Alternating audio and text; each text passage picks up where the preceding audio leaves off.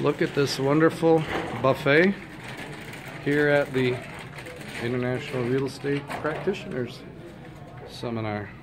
Just awesome. Oh, sorry about that. There's our friend Sue. Thanks, Sue.